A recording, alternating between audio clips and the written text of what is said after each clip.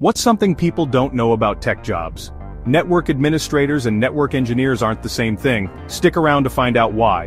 Alright, here's the deal. Network administrators and network engineers both work with computer networks, but their roles are pretty different. A network administrator is like the network's caretaker.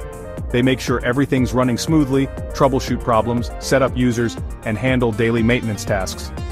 Think fixing issues, updating software, and keeping the network safe. Now, a network engineer is more like the architect. They design and build the network from scratch, plan upgrades, and figure out how to make everything faster and more secure.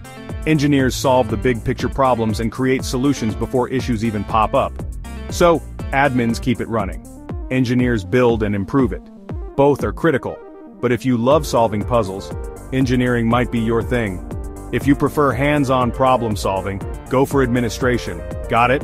Hit subscribe for more tech breakdowns. See you next time.